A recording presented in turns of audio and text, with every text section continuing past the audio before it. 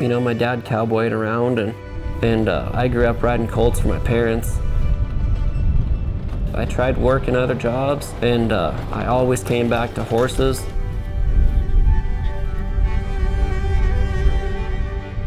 You know, we were kind of wanting to go out on our own, and we bought our place and our cows all from scratch and from start. So,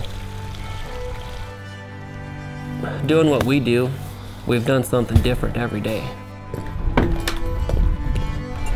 Long days, or early mornings, or late nights. So I ride a lot of client horses. Make ranch rope horses out of them and have a nice product that people can come and buy from us. Even on our fun days, with the kids going up to the mountain, checking cows, like we're still always riding.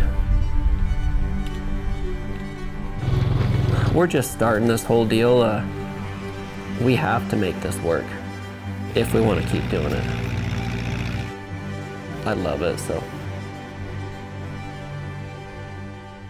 I don't think I'll ever do anything different.